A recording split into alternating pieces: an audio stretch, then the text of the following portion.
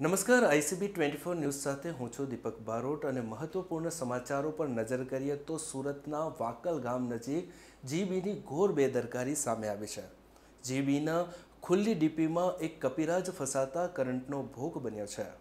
સુરત જિલ્લાના માંગરોળ તાલુકાના વાકલ ગામે ભગવતી ટ્રેડર્સની બાજુમાં આવેલા રસ્તા ઉપર ખુલ્લી જીબીના ડીપીના કારણે આજે એક કપિરાજ કરંટ લાગ્યો છે.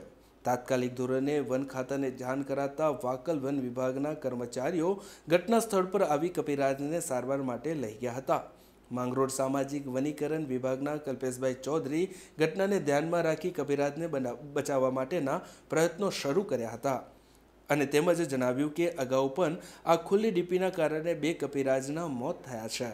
તેમજ જીબીના અધિકારીને જાણકારી આપી આ ખુલ્લી ડીપીને પ્રોટેક્શન કવર કરવા માટેને જણાવ્યું હતું. વન વિભાગના પ્રયાસથી કપિરાજની હાલત હાલ સુધારમાં આવશે અને જલ્દી સ્વસ્થ થઈ જશે, તેવું વન વિભાગના કલ્પેશભાઈ ચૌધરીએ જણાવ્યું હતું.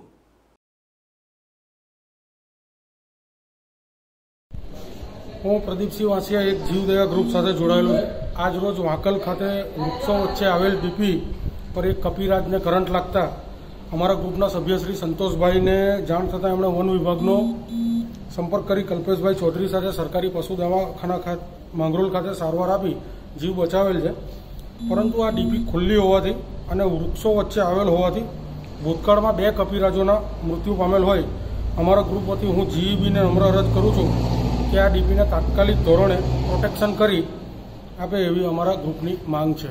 આપ જોઈ રહ્યા છો આઈસીબી ટ્વેન્ટી ફોર ન્યૂઝ. વધુ જાણકારી માટે સંપર્ક કરો નવ છ બે ચાર એક ચાર ત્રણ નવ પાંચ શૂન્ય.